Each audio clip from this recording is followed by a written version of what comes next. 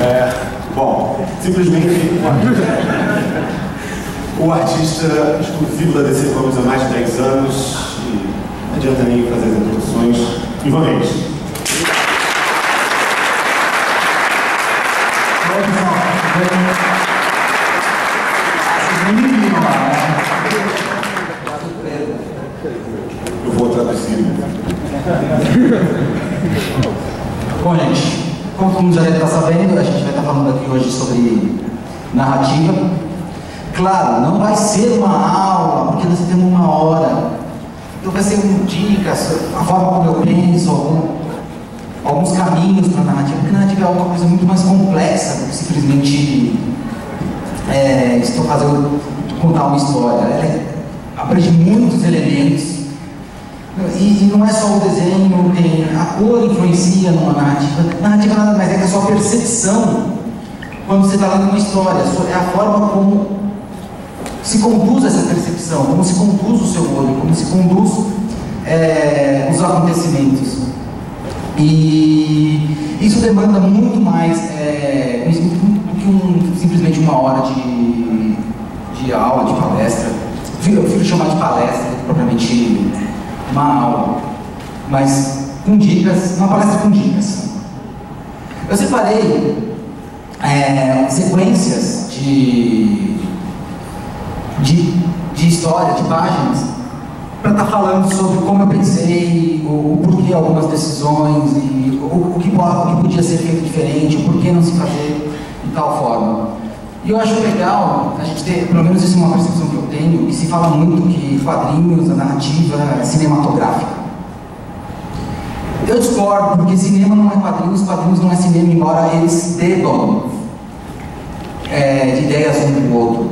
A sua percepção assistindo a narrativa de um filme será completamente da sua percepção lendo uma história. Porque ler uma história, você vê todos os acontecimentos já ao mesmo tempo no momento que você abre uma página, você tem duas páginas é, que, que, guiam o seu, o seu olhar, e você tem um elemento que, que define ah, os quadrinhos, que se chamam quadros, né? por isso que chamam quadrinhos. E, então não dá, não é um, um, Por mais que se fale que seja uma narrativa cinematográfica, é uma forma de dizer. Não quer dizer que isso é igual um filme, uma composição de filme, embora você possa usar influências. Porque você precisa sim ter a adaptação e ter alguns cuidados na hora de compor a sua página, na hora de compor o seu história. Vai dar duas páginas. Eu procuro fazer sempre por página esse, esse elemento que se chama localização do ambiente. No caso aí lá um Sam, que é um restaurante, e de, é, que, que é importante toda, toda hora você lembrar para o leitor, lembrar para quem está lendo, aonde está acontecendo a ação, aonde está acontecendo o, a história. Porque senão vai chegar uma hora que a mente esquece. Né? Você começa a, a, a focar só em detalhes, ou começa a focar, esquece tipo, o cenário, e a mente vai esquecendo onde está acontecendo aquela ação. Então localizar os acontecimentos é muito importante. É, localizar o espaço é muito importante. No caso, a gente tem aqui nessa história, a gente localiza, eu, eu dois planos de de localização. O primeiro é um, um externo, que eu preciso localizar o leitor aonde está acontecendo isso, e depois a gente tem uma, um, um, plano geral do interno, que é para mostrar o espaço do, do ambiente. E você percebe que eu coloquei quatro colunas, e todo mundo está meio espremido, está todo mundo é, apertado, pus uma muvuca lá atrás, cheio de gente a, a mulher colada um, no outro, todo mundo está muito, muito próximo. Isso é, é, é, é, assim, às vezes só eu acho que eu percebo isso, não é ninguém. Mas isso que é legal, tem coisas que você tem que fazer que é para só dar a sensação, mas que não é para ficar óbvio. Porque o ambiente está lotado. É um restaurante cheio.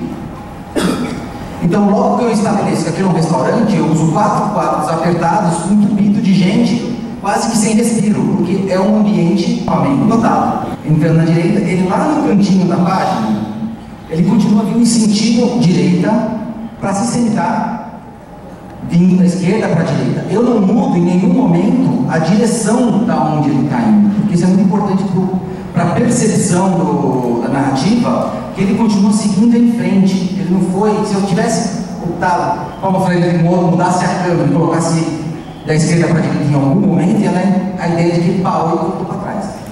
Ele mudou de direção. Então eu preciso dar um senso de continuidade sobre o que está acontecendo. No caso, ele está entrando no restaurante, ele entrou e seguiu para a mesa dele. Então ele seguiu em linha reta, ele seguiu da esquerda para a direita, e isso é o tempo todo em todos os quadros. É, aí pode perceber uma coisa.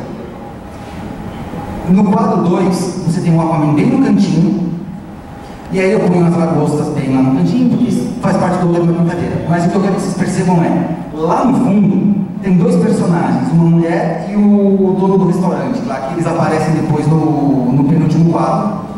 Eles estão olhando da direita para a esquerda. Porque eles estão olhando para o Aquaman entrando. O Aquaman, o que ele fez? Ele passou por eles. Então, no momento que eles vão olhar o Aquaman no próximo quadro, eles estão olhando da esquerda para a direita. Porque ele passou por eles. Então, eles não vão, não vão estar olhando ainda para a esquerda. Porque é um senso de movimento, para criar a sensação de movimento. Então o Aquaman está vindo, eles estão olhando da direita para a esquerda, olha, ele está vindo, ele está vindo. Ele continua vindo, passou, no próximo quadro que eles estão olhando ele, eles olham, eles viraram para lá, eles estão vindo para a direção em que ele foi. É para criar essa percepção do movimento. Ele passou onde está as costas e um está à frente do Aquaman. Ele continua ali, à direita, olhando para a esquerda, porque essas são as costas dele olhando para os personagens ó, o tempo todo. Eu virei, mesmo eu pus a câmera, ó, eu pus a câmera atrás dele, nas costas dele no 4-2, mas ainda assim ele continua olhando para a esquerda. Só que acontece algo engraçado. Cara sai da mesa dele e vai sentar. Então ele passa, eu passo a mudar a direção. O que aconteceu?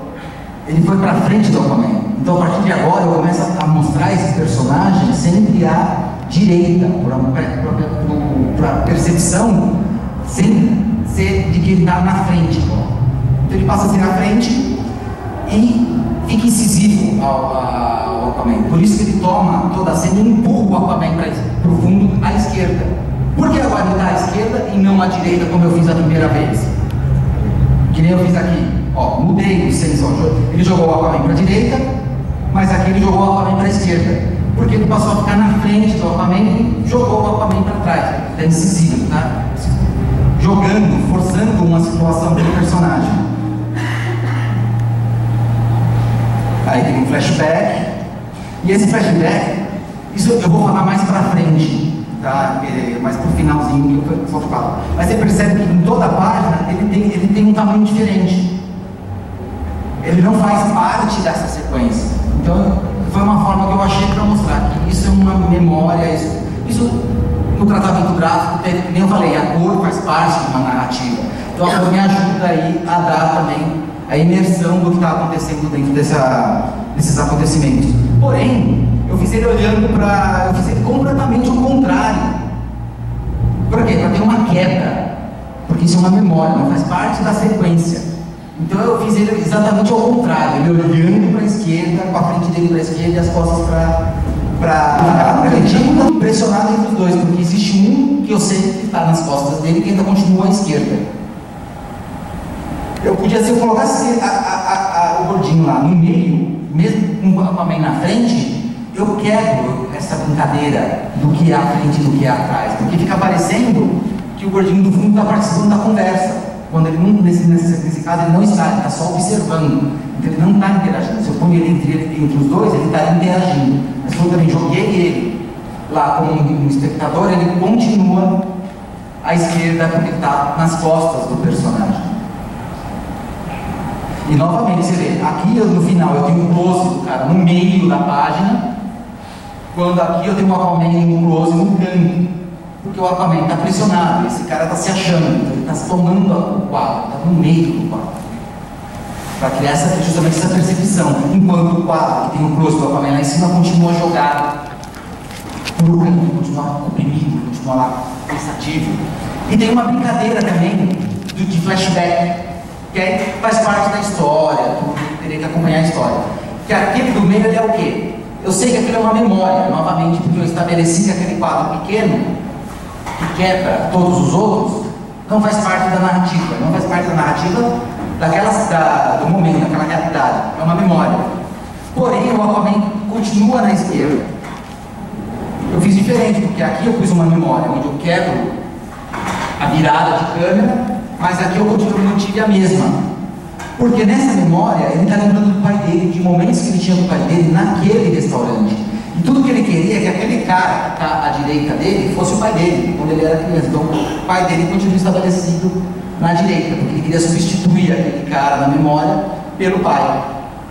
Então, eu mantenho dentro de uma leitura a percepção, mesmo que não seja óbvia, daquilo que está acontecendo com o personagem. Eu ajudo a contar essa história que está acontecendo com o personagem.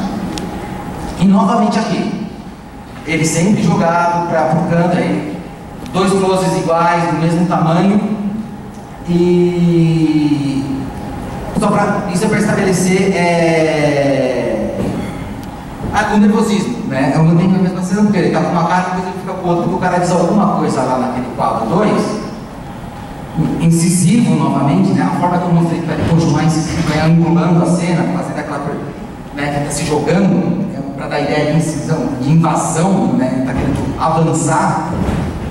E o Aquaman quebra esse avanço mostrando um tridente do tipo, é, se prepara, né, até deixa sua bunda pronta. Né, ele eu vou umas piadinhas às vezes para os editores e eu não apago, né, ele põe assim na plateia e todo mundo vê as cagadas que eu faço.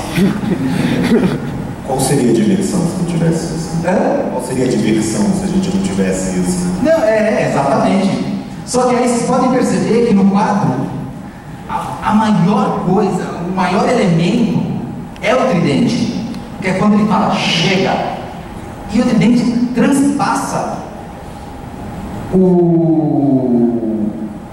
o, o, o cara. Está cortando, passando pela frente do cara, do tipo, chega. Essa foi é uma linha divisória, como se fosse uma linha divisória aqui, por fica mais fácil, né? Ela fica como uma linha divisória. Porque ele não está transpassando o Aquaman. O Aquaman continua aqui, mas aqui chega. E o cara fica cortado. E isso como principal elemento para mostrar, acabou aqui. Então toda a sua, toda a sua atenção vai para isso, vai para esse tridente. Porque aqui acabou a conversa, acabou a ação. Então, a ideia aqui não é mostrar um homem bonito com um tridente ou todo fortão, mostrar o peitoral, o tridente com peitoral ameaçador. Não existe uma ameaça corporal, existe uma linguagem que esse tridente desse tamanho já é o suficiente para mostrar. Acabou a conversa, acabou o papo e chega e corta o cara e o cara fica lá, e fudeu. E aí ele levanta, porque o cara está achando realmente que ele vai, né? Porrar ele, vai enfiar esse dente em algum lugar. E aí ele levanta e vai embora. Então ele sai. Como ele entrou? Né? Ele sai. Ele está saindo para a direita por quê? Alguém saberia me dizer? Como é que é? Desculpa, Por que, ele está saindo para a direita, da esquerda para a direita? Porque aí já é um pouco diferente. Eu escolho que eu vou virar a página. Ele está vindo aqui para a direita para estimular a virada. Para estimular a virada, a virada de página. Porque se eu faço vindo para lá, meu olho vai para lá. Aí eu faço o olho vindo para cá. Não, eu acompanho e viro. Então, essa decisão dele estar tá vindo para cá tem a ver com o fato dele estar tá para a virada de página, o olho acompanhar essa virada de página. E perceba que ele está nem aí para esse cara. Esse cara escapou de um ele está aqui, ó, putz, mas ele começou a ficar, ele ficou tão pequeno, esse, o tempo todo ele ocupa a página, ele ocupa a cena, ele ocupa a cena para ficar grandes coisas, e na hora, na hora de ir embora, ele está pequenininho. Está cercado pelo Aquaman. Ele está cercado pelo Aquaman. É, acabou para você. E ele falou, putz, acabei de uma. E ele, mas também aí para ele, então ele diminuiu. Ele ficou, ele ficou insignificante. Só que aí eu virei a página, tá? Aí, aí é uma brincadeira, aí é, é, vem a percepção que ele, quando entrou no restaurante, ele saiu, é, ele entrou pela esquerda, seguindo a direita. Só que eu já tive tempo na história de reposicionar posicionar inconscientemente a câmera sem mudar as posições dos personagens. Não sei se vocês perceberam, quando ele entra, a câmera está aqui e a mesa está assim. Então ele veio da esquerda para a direita. Eu estipulei que ele entrou na mesa. E fui virando, sem que vocês percebam, a mesa. E termino com ela virada para cá, nessa direção. Então ele tem que sair daqui da esquerda, ele tem que continuar para esse sentido. Mas eu já estabeleci inconscientemente, de tal forma que vocês não percebam na hora que ele estiver saindo para a direita. Está aqui. A mesa está aqui. Eu virei. Ela mudou de posição sem que eu mudasse os personagens. Não, então vocês estão situados, vocês estão localizados. Então na hora que ele sai e continua sair para a direita, você não estranha. Porque senão eu ia dar a ideia de que ele ia para onde? Se a mesa estivesse ainda virada no mesmo sentido. Então isso é, uma, é aquela mudança que eu, que eu falei, que é sutil para a mente continuar a perceber a, a sequência de acontecimentos. E aí, ele está saindo do restaurante. Ele saiu da esquerda para a direita e continua no próximo quadro, seguindo a direita. E a moça aparece. Coincidentemente, da esquerda, porque eu estabeleci que a esquerda é as costas dele. E ele olha para trás e ela continua à esquerda. Se eu jogo ela para cá, é como se ele é, tivesse perdido. Eu já cometi muitos exercícios aí. Foi, é, a gente vai aprender, são coisas que a gente vai aprendendo. E aqui, o pessoal está olhando é, para fora. Só que eu não estabeleço, o Aquaman não está estabelecido aí. Eu não sei mais onde está as costas, onde está a frente do Aquaman. Por isso que a cadeira está de frente. Está olhando para frente. Porque eles estão dentro do restaurante e não existe mais a, a referência. Aqui é só para estipular novamente aqui aquela brincadeira, ele olhando para o mar, sempre a, a Mera está atrás dele, e eles estão conversando, mas você perceba que eu estabeleci aqui que as costas dele estão tá à esquerda. Isso foi coincidência, tá gente? Esquerda, as costas para a esquerda. Foi, foi uma sequência que eu escolhi.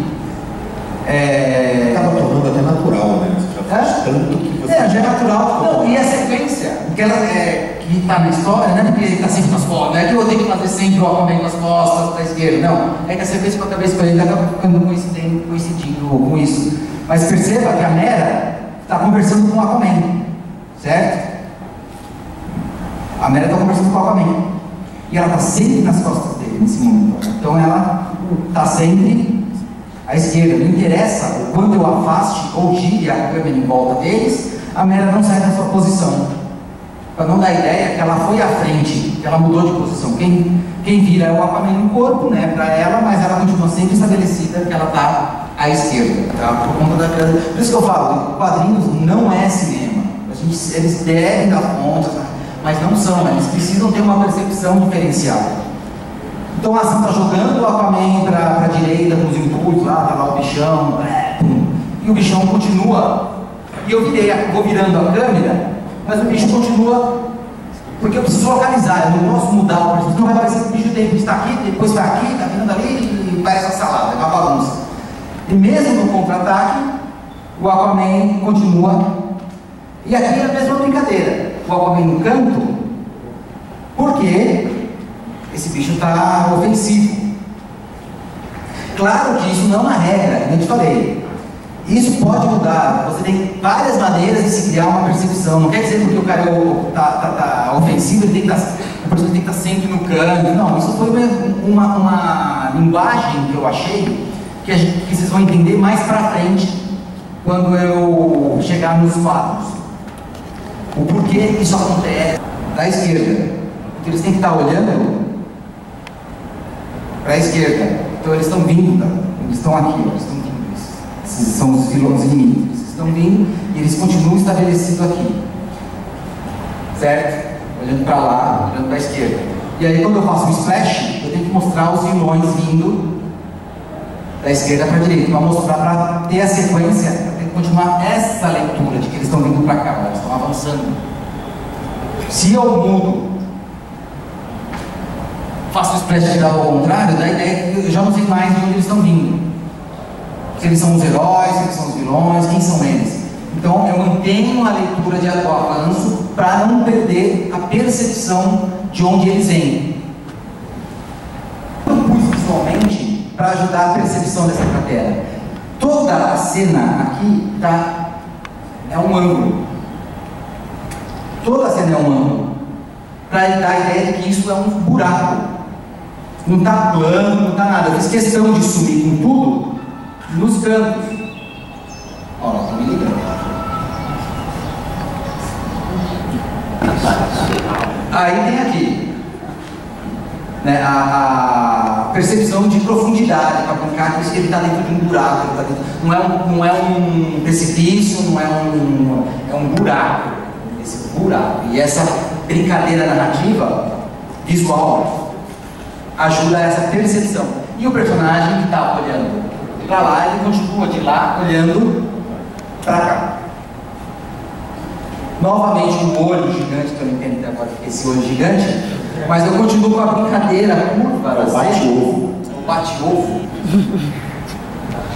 do buraco, para mostrar que ele ainda está dentro de uma cratera. Então tudo aqui forma uma curva. Um, um, eu esqueci, fugiu nome, uma bacia, como chama o nome? Pressão. É, Uma parábola. Tudo é curva. tudo é côncavo, porque é um buraco. Aí novamente aqui é a brincadeira também da, da esquerda para a direita, de todo mundo para onde todo mundo está olhando, ele está olhando para o buraco, então ele continua à esquerda, porque foi onde eu estabeleci ele aqui, que ele está olhando para o buraco, então ele continua a olhar para esse buraco, porque todo esse acontecimento, o aminho, o ovo, está dentro desse buraco. E, e eles olham para lá. Porém, ele também está olhando. Porque aí eles não estão mais vendo. Eles estão olhando agora, o foco é o, o principal aqui, é o olho. Que eu estabeleço aqui. Aqui eu, eu centralizo para manter a. para virar, para estabelecer o personagem. E ele- uma coisa que muitos desenhistas fazem é definir o seu requadro de de acordo com a sua narrativa. Eu faço exatamente o contrário. Eu defino a minha narrativa de acordo com a escolha dos requadros. Eu não deixo, eu não faço o requadro, eu não ponho o requadro a favor da minha narrativa, eu ponho a minha narrativa a favor do requadro. E isso cria situações e formas de narrativa completamente diferentes, porque a forma como você requadra te obriga a ter uma determinada narrativa. No caso do Aquaman, eu usei matemática. Todos os quadros na história do Aquaman, praticamente 90%, possuem o mesmo tamanho, de acordo com a página. Mesmo quando eu tenho um quadro grande, ele é o equivalente a dois quadros. Então aqui tem os dois quadros, aqui eu tenho um quadro grande, mas ele é o equivalente a dois quadros. Então, ou três. Ah, ele está sempre igual, sempre se repetindo. Eu vi que desenhista para fugir da matemática, cara, sabe? Tá, tá vendo? Tá vendo? E aí tem aquela brincadeira do quadro menor. Porque o cérebro percebe a simetria de tudo. Ele percebe a simetria da matemática de forma inconsciente. Que todos os quadros naquela página estão iguais. Não 100%, mas estão. E quando eu quebro essa simetria, eu consigo transformar o menor quadro no quadro mais importante, porque eu chamo a atenção para ele.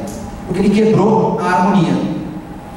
Então, nem sempre o quadro principal é o maior. Eu quis brincar justamente com a brincadeira oposta. O quadro principal passa a ser os menores.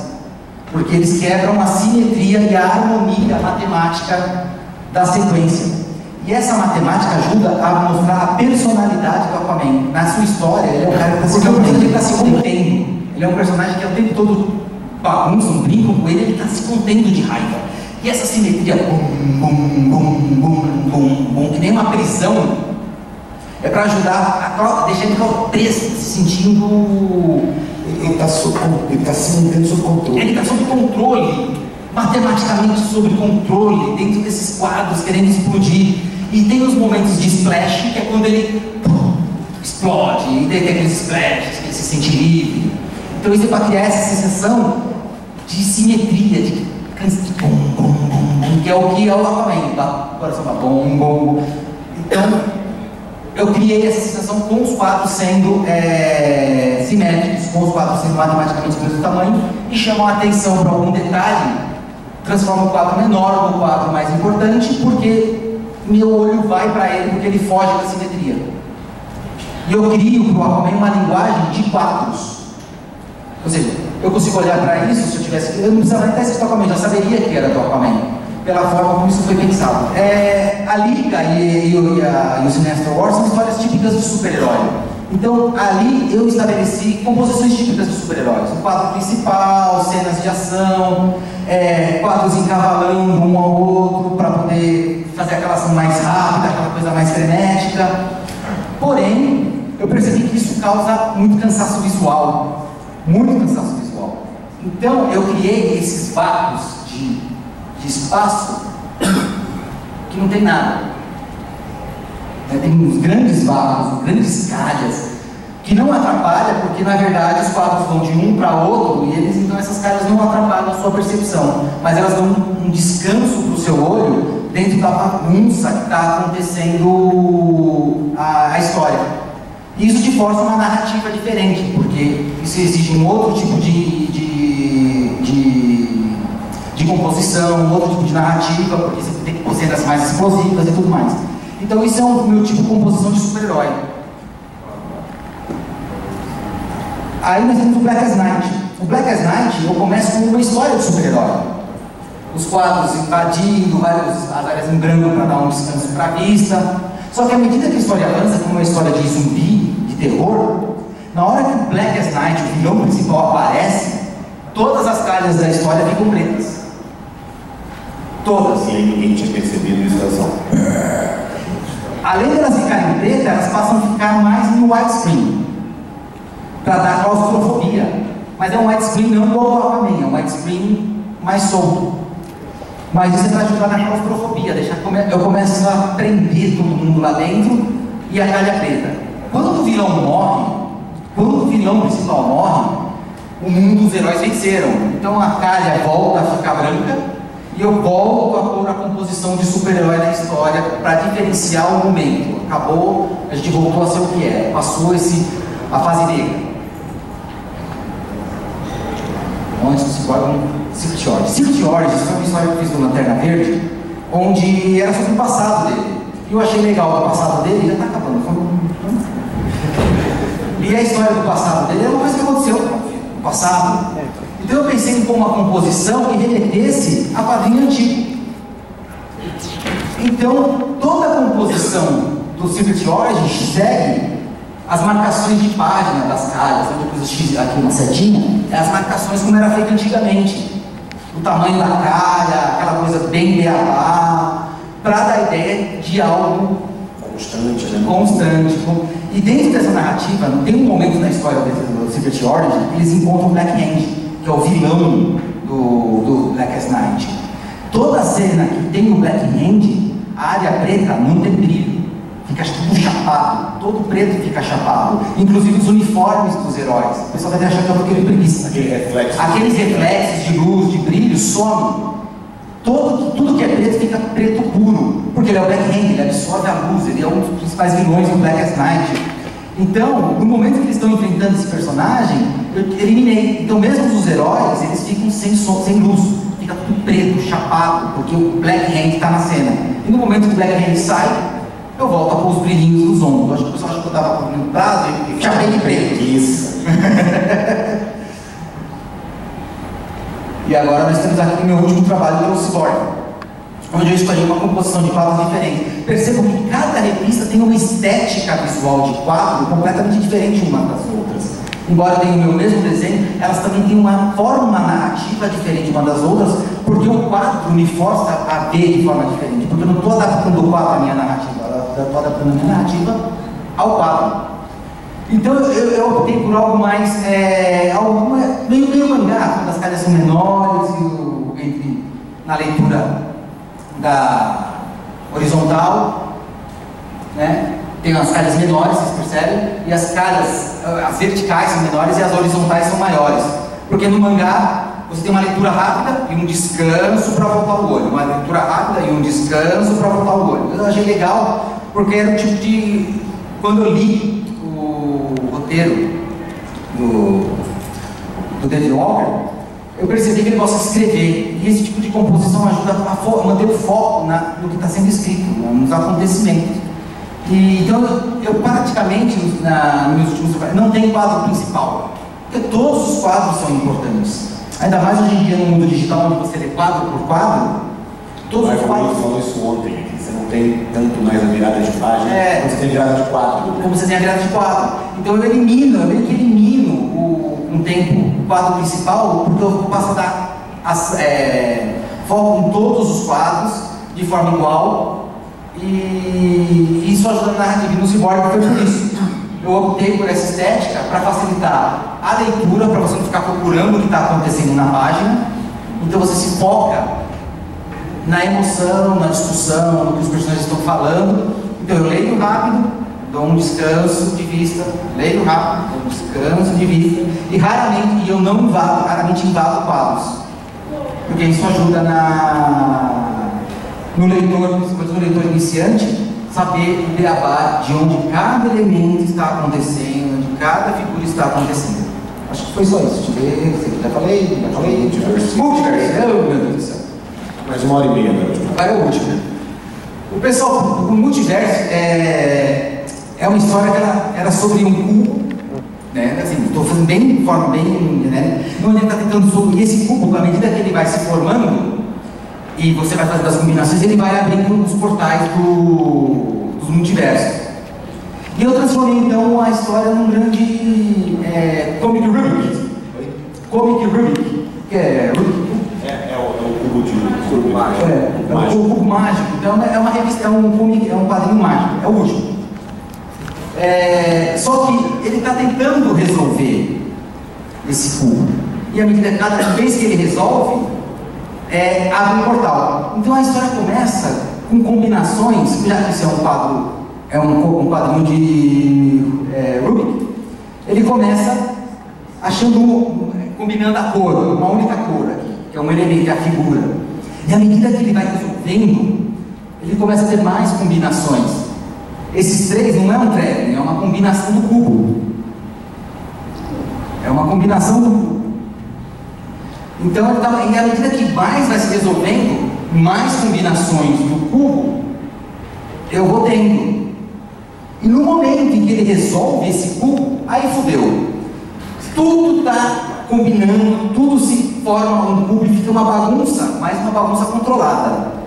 Onde todas as cenas, com- é, é, vários quadros se, se combinam, isso não, isso não chega a ser um traveling, chega a ser o cubo sendo resolvido.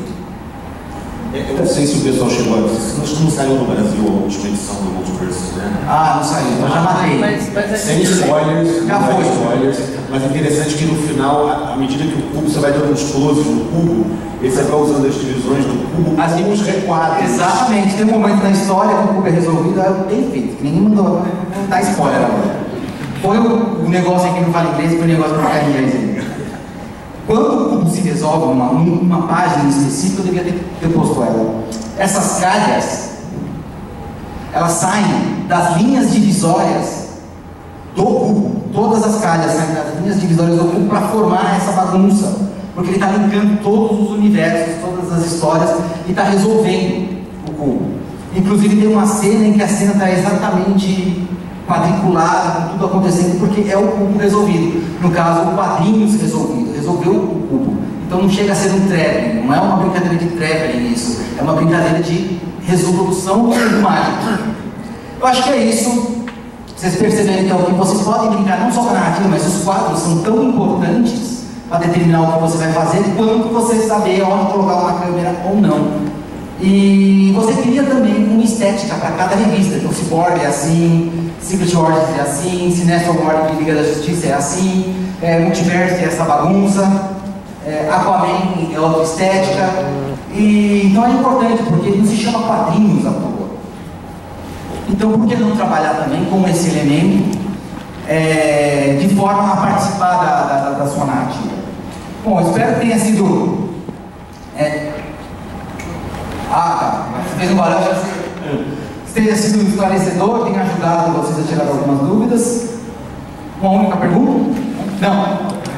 Senhoras e senhores.